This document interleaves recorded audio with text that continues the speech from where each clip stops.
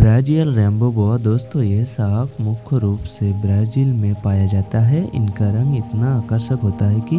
देखकर लगता है मानो इनमें इंद्रधनुष का सात रंग समा गया है इन्हें दुनिया का खूबसूरत सांप माना जाता है इसलिए ब्राज़ील के लोग इसे